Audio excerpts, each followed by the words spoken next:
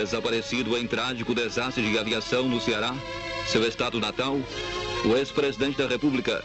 Marechal Humberto de Alencar Castelo Branco, recebe as últimas homenagens do governo, das Forças Armadas e de todas as classes sociais, quando se transladam para Guanabara os restos mortais do estadista e grande soldado. O presidente Costa e Silva, acompanhado de todo o seu ministério, comparece ao aeroporto Santos Dumont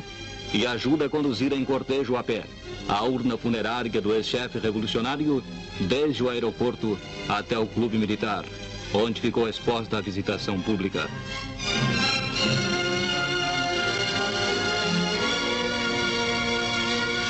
Grande massa popular visita comovida o corpo do ex-presidente da República, manifestando assim de forma altamente significativa o pesar do povo brasileiro pelo falecimento do eminente chefe de Estado que deu ao país o melhor dos seus esforços em prol do seu erguimento nacional e do restabelecimento do princípio de autoridade, constituindo-se em exemplo marcante de austeridade e dedicação à causa pública.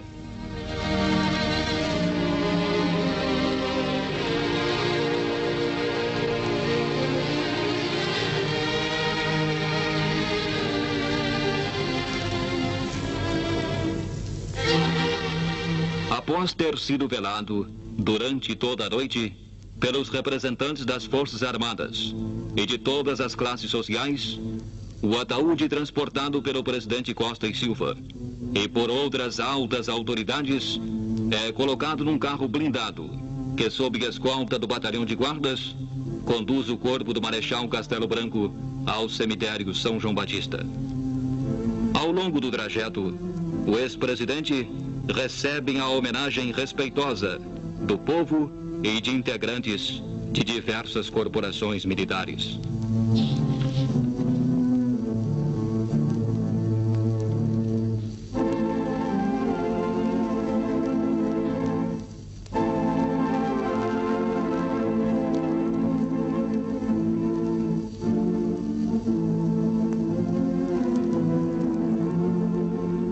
No cemitério São João Batista,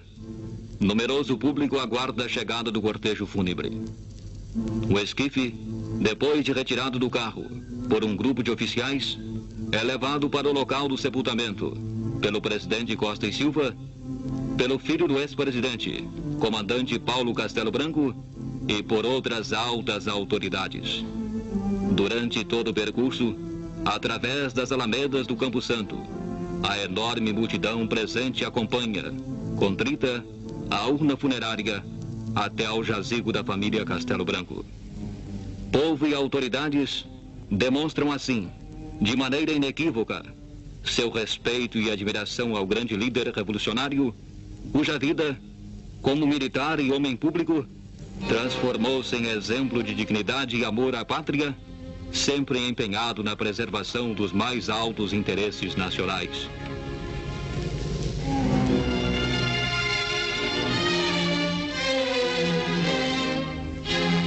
Na guerra, enfrentou com coragem e destemor as forças do nazifascismo. Na paz, seus incontestáveis dotes de estadista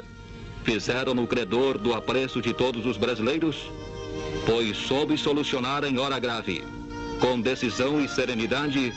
os mais sérios problemas que angustiavam a nação. As gerações vindouras hão de tributar ao Marechal Castelo Branco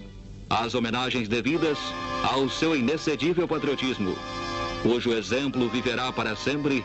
expresso na honestidade dos seus ideais e propósitos, que acompanharão o Brasil no seu destino de grande potência.